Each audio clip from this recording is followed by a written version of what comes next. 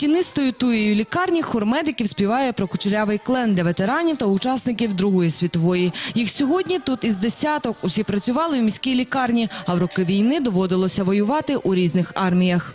Є люди, які воювали на фронтах радянської армії, які є Білоруський фронт, Ленінград.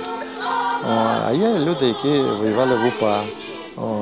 Перші наші зустрічі були так, проходили важкувато, а зараз вже вони зрозуміли, що треба миритись, треба допомагати, щоб розвивалася наша держава і вчити дітей, щоб вони оберігали її.